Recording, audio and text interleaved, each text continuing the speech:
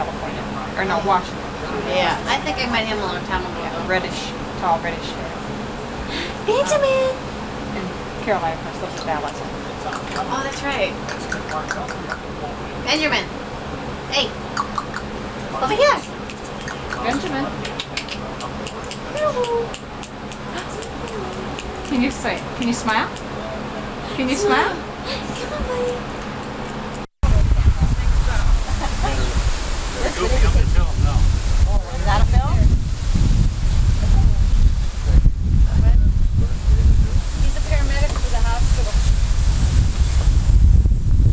there's two